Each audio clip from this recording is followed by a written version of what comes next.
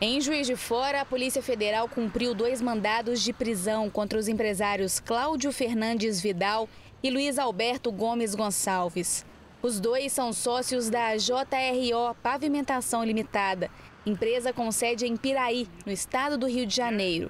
Os empresários estariam envolvidos em um esquema de corrupção que resultou na prisão do atual governador do estado do Rio, Luiz Fernando Pezão.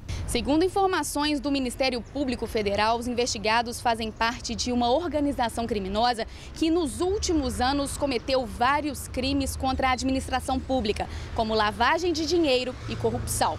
A empresa JRO Pavimentação executou obras públicas em Juiz de Fora. Um dos contratos assinados pela Prefeitura é de 2009.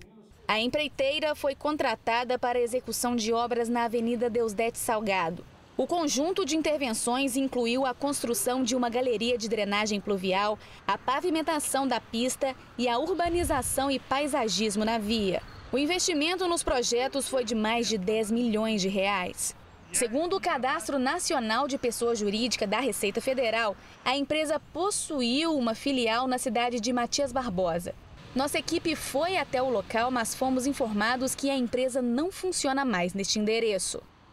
Durante a operação, foram cumpridos nove mandados de prisão preventiva e 30 mandados de busca e apreensão nas cidades do Rio de Janeiro, Piraí, Volta Redonda, Bom Jardim e Juiz de Fora.